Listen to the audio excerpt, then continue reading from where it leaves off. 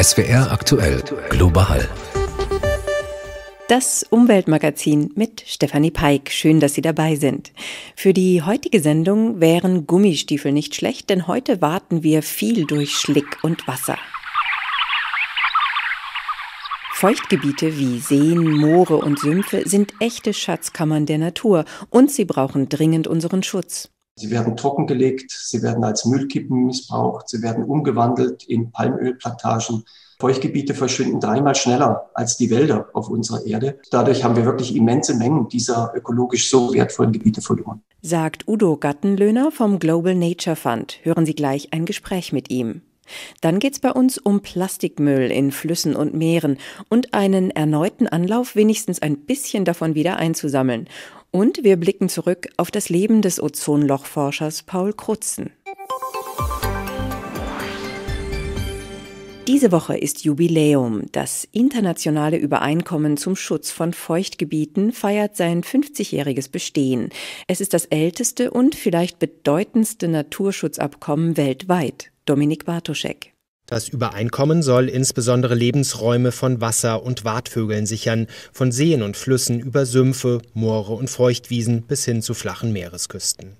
Der Vertrag wurde 1971 in der iranischen Stadt Ramsar geschlossen, daher auch der Name Ramsar-Konvention. Bisher haben mehr als 170 Staaten unterzeichnet. Sie verpflichten sich, geeignete Maßnahmen zu treffen, um die Artenvielfalt in den ausgewiesenen Arealen zu erhalten. Zu den größten Ramsar-Gebieten zählen einige riesige Flächen am Queen Maud Golf, einem arktischen Gewässer vor der kanadischen Küste, oder das Okavango-Delta in Botswana. Deutschland hat unter anderem Wattenmeergebiete an der Nordseeküste gemeldet und die Rheinauen zwischen Eltville und Bingen. Auch der Oberrhein zwischen Basel und Karlsruhe ist Ramsar-Gebiet, genauso wie das Wollmattinger Ried und der kleine Mindelsee am Bodensee. Jedes Jahr am Jahrestag des Ramsar-Vertragsschlusses wird der Welttag der Feuchtgebiete begangen, um auf die besondere Bedeutung dieser Lebensräume aufmerksam zu machen. Aber was genau macht Feuchtgebiete so wertvoll und werden sie ausreichend geschützt? Darüber habe ich übers Internet mit Udo Gattenlöhner gesprochen. Er ist Agrarwissenschaftler und Geschäftsführer des Global Nature Funds, einer gemeinnützigen Stiftung für Umwelt und Natur mit Hauptsitz in Radolfzell am Bodensee. Die Stiftung koordiniert das internationale Netzwerk Living Lakes, lebendige Seen. Es hat über 100 Mitglieder und setzt sich ein für den Schutz der ökologisch wertvollsten Gewässer der Erde. SWR aktuell global das Gespräch. Hallo Herr Gattenlöhner. Hallo Frau Peik. Warum setzen Sie sich mit dem Global Nature Fund unter anderem für den Schutz von Feuchtgebieten ein? Sind Sie jemand, der sich gern nasse Füße holt? Ja, vielleicht muss ich da mal in die Anekdotenkiste greifen. Ich erinnere mich noch an den Start des Bodensee Umweltschutzprojektes hier 1990 am Bodensee. Damals war Klaus Töpfer Umweltminister und ich war Zivildienstleistender und ich durfte ihn abholen vom Flughafen Friedrichshafen. Das heißt, das Thema Wasser, Seen, Feuchtgebiete begleitet mich sozusagen schon mein ganzes berufliches Leben. Und warum sind Feuchtgebiete so wertvoll? Ja, wie kann man das erklären? Ich würde mal sagen, wenn die Welt ein Organismus wäre, dann wären die Wälder, wären die Lunge und die Feuchtgebiete wären die Nieren. Also Feuchtgebiete sind sehr wichtig für die Wasserreinigung. Sie haben ganz große Bedeutung für die Vermeidung von Hochwasser, weil einfach große Auengebiete dann sehr kurzfristig große Wassermengen aufnehmen können. Und sie sind unheimlich wichtig für den Klimaschutz, weil sie insbesondere Moore immense Mengen von Kohlenstoff speichern. Und sie sind auch ein wichtiger Lebensraum für Tiere und Pflanzen, oder? Das auf jeden Fall. Äh, die Feuchtgebiete gehören zu den artenreichsten Gebieten unserer Erde. Also es ist schon faszinierend, welche Tier- und Pflanzenvielfalt man in Feuchtgebieten finden kann. Zum Beispiel?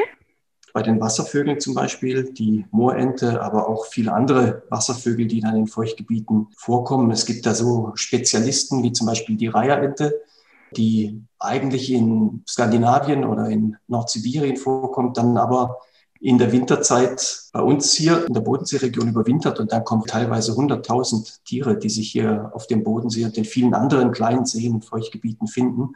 Aber natürlich auch der Buntspecht, der Grünspecht, der Mittelspecht, der Neuntöter zum Beispiel. Diese Würgerarten heißen die, die sind ja sehr selten geworden, finden sich in Feuchtgebieten teilweise auch noch in relativ großer Stückzahl. Selbst der Pirol, man kennt die vielleicht von Bildern, den schönen gelben Vogel, hat es hier zum Beispiel bei uns im Mendelseegebiet auch noch.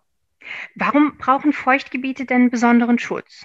Es gibt bei der Feuchtgebietsschutzkonvention ein geflügeltes Wort, das heißt Wetlands are not wastelands, also dass Feuchtgebiete sozusagen keine Schmutzgebiete sind. Leider werden Feuchtgebiete, weil sie eben schwer zugänglich sind, unterschätzt, aber teilweise eben auch missbraucht. Also sie werden trockengelegt, sie werden als Müllkippen missbraucht, sie werden umgewandelt in Palmölplantagen, da habe ich schon schreckliche Sachen gesehen. Und dadurch verschwinden die Feuchtgebiete tatsächlich in dramatischem Tempo. Also es macht einem auch schon fast Angst. Feuchtgebiete verschwinden dreimal schneller als die Wälder auf unserer Erde. Und mhm. dadurch haben wir wirklich immense Mengen dieser ökologisch so wertvollen Gebiete verloren. Sie hören die Umweltsendung Global, das Gespräch mit Udo Gattenlöhner von der Umweltstiftung Global Nature Fund über die Bedeutung und den Schutz von Feuchtgebieten weltweit. Jedes Jahr kürt das Netzwerk Lebendige Seen einen bedrohten See des Jahres. Dieses Jahr ist die Wahl auf das Pantanal in Brasilien gefallen, ebenfalls ein Ramsar-Gebiet. Herr Gattenlöhner, was genau ist das Pantanal überhaupt und warum ist es bedroht? Das Pantanal ist ein riesengroßes Feuchtgebiet. Es ist fast halb so groß wie Deutschland. Es liegt vor allem in Brasilien, grenzt aber auch an Bolivien und Paraguay. Es ist ein sehr flaches Gebiet und nimmt dann sozusagen wie ein Schwamm die enormen Regenmengen die da jedes Jahr fallen, auf und steht dann auch wirklich ein halbes Jahr fast komplett unter Wasser. Dadurch gibt es natürlich auch eine immense Vielfalt von Arten und das Pantanal brennt seit vielen Monaten und das sind die größten und verheerendsten Brände, die das Gebiet bisher gesehen hat. Welche Arten sind da zum Beispiel in Gefahr? Ja, eigentlich alle Arten, die dort vorkommen. Es gibt dort 100 verschiedene Reptilien, ähm, über 600 Vogelarten. Und natürlich der Jaguar ist tatsächlich noch der größte Lebensraum für eine sehr stabile Jaguarpopulation noch oder Riesentapir oder Riesenflussotter. Es gibt da schon wirklich auch beeindruckende Arten. Aber natürlich ist deren Bestand massiv bedroht, wenn solche Feuer wüten. Was muss da passieren? Tja, eine Maßnahme wird da wahrscheinlich nicht ausreichen. Sicher muss der Schutzstatus noch ausgeweitet werden, aber vor allem dieser Schutzstatus besser umgesetzt werden. Denn die Brände sind nicht Zufall. Also es brennt immer mal wieder in diesen Regionen. Das kann schon vorkommen. Aber Brände dieses Ausmaßes haben auch menschliche Ursachen. Das heißt, da spielt Brandrodung mit eine Rolle. Und diese Feuer geraten dann teilweise außer Kontrolle natürlich auch etwas angefacht durch den Klimawandel. Die Region wird trockener und da sind jetzt Tausende von Brandherden in der Region. Also zum einen muss man jetzt erstmal im wahrsten Sinne des Wortes löschen und dann langfristig natürlich auch versuchen, diese illegalen Machenschaften der Brandrodung einzuschränken. Wenn wir die Vogelperspektive einnehmen, wie steht es denn unterm Strich um den Schutz der Feuchtgebiete weltweit?